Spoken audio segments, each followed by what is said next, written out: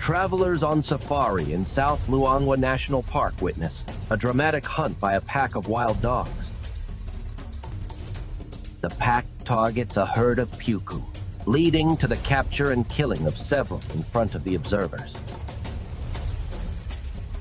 Nature's brutal realities are on full display as the wild dogs execute their strategy. This safari provides a rare glimpse into the natural world's uncompromising nature, where life and death are constantly intertwined.